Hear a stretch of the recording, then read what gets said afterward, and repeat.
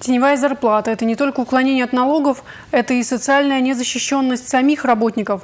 Сотрудники налоговой службы в очередной раз проверили недобросовестных предпринимателей.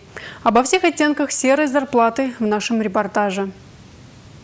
Магазин в самом центре столицы республики. Место популярное. Покупателей даже в разгар рабочего дня много. Как и следовало ожидать, посетителям в форме здесь не очень обрадовались. Администратор исчез как по волшебству. Должен был приехать другой администратор, но еще не доехал. Сейчас подъедет. Ну, должен подъехать, да. Сотрудники налоговой службы и наша съемочная группа администратора так и не дождались. Зато успели пообщаться с продавцами-консультантами. А вы, наверное, по трудовой работаете или нет? Без трудового оформления. Понятно. А зарплату как получается? По договору 8. А отпускные платят? Больничные тоже нет. Девушки признались, что каждые три месяца директор, которого они даже в глаза не видели, заставляет заключать их новый контракт. Когда договор заключается на такие короткие сроки, работодатель с легкостью может уйти от уплаты налогов. Никаких социальных гарантий у работников этого магазина, естественно, тоже нет. Ну вот, а Начисляют? Вам не давали? Нет, не давали Вы никакой не справки. знаете, сколько с вашей зарплаты отчисляются налоги? Но это мы ничего не знаем. Вы ничего не знаете? Нет. И тоже не- э, насчет отчисления на страховые взносы за вас, на вашу будущую пенсию. Ну, естественно, там какие могут быть там взносы. Еще одно нарушение. Мы наличие контрольно-кассовой техники не видим здесь.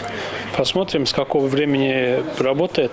Будем налогоплательщика приглашать в инспекцию на дачу пояснения. В другом месте проверки замечания появились еще на входе. Как мы видим, даже нет вывески, ни режима работы, ни официального названия, что это за заведение, мы не видим.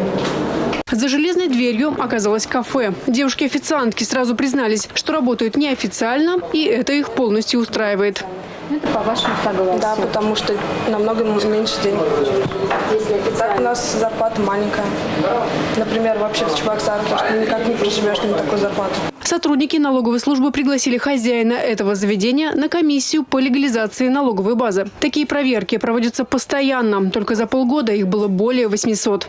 По результатам которых э, 194 работодателя повысили заработную плату, либо заключили трудовые договора со своими работниками.